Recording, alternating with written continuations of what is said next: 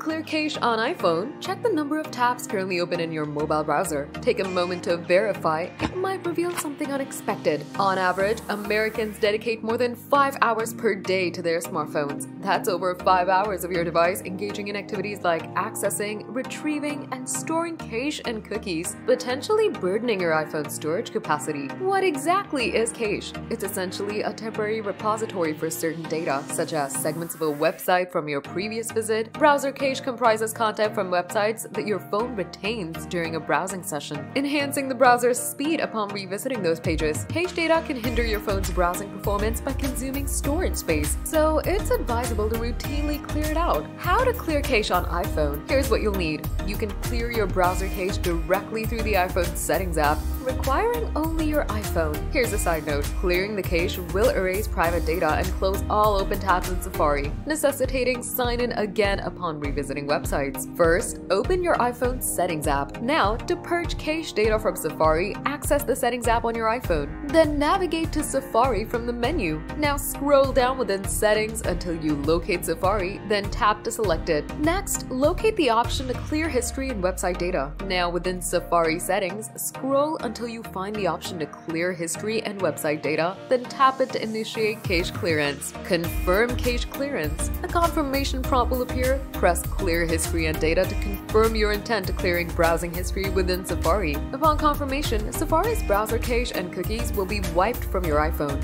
However, autofill information should remain intact. Cached images and browsing history will also be removed, and you'll be logged out of any previously accessed website.